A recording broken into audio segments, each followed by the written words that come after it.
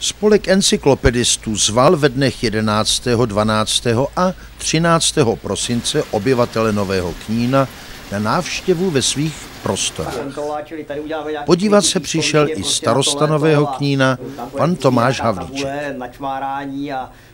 pár nějakých kytek, popínavek a v létě by to mělo být prostě otevřený na francouzský okna a mm, ono se to tu rychle píničkem vyhřeje, jako táhne. No, teď jsme vlastně v té, řekněme, budoucí klubovně, taková nějaká společenská místnost, která by měla sloužit jak pro ty kurzy v podstatě nějakých rukodělných prací, hlavně teda práce s papírem a pro ty menší děti a potom počítáme prostě s nějakým klubem seniorů, který by eh, tady prostě v návaznosti zase měl svoje zázemí.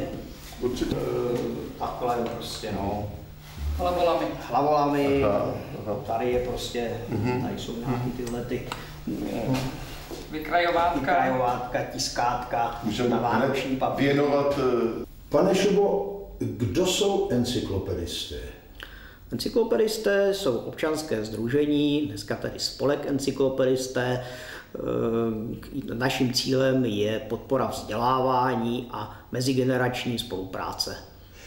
Eh, Zde v Novém Kníně jste otevřeli nové prostory. Eh, K čemu budou sloužit?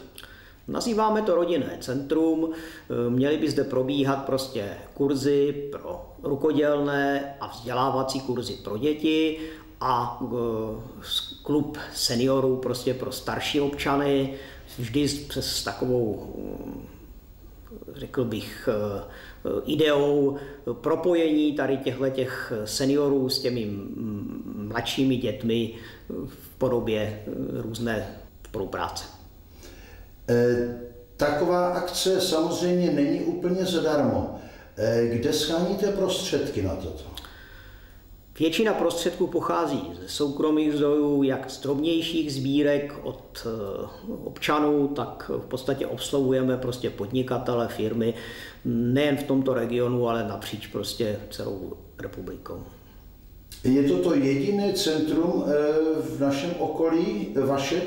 Ano, tady vlastně v- ve středních Čechách je to jediná naše aktivita. Ehm, Pochopitelně máme i nějaké drobnější aktivity prostě v Praze, ale toto centrum je zatím jediné.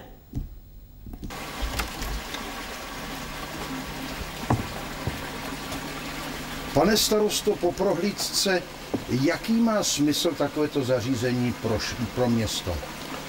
Tak eh, protože to zařízení je především určeno dětem a seniorům, tak každou takovouto iniciativu vítáme, protože v našem městě těch zařízení podobného účelu není moc a eh, je to určitě přínosem. Eh, Je možná nějaká podpora z vaší strany tomuto zařízení? Určitě, určitě. My se snažíme jako město, aby jsme právě podporovali podobná zařízení, takže vítáme, že tady vzniklo vlastně bez vstupní naší investice a že určitě se zapojíme do nějakého financování některých akcí.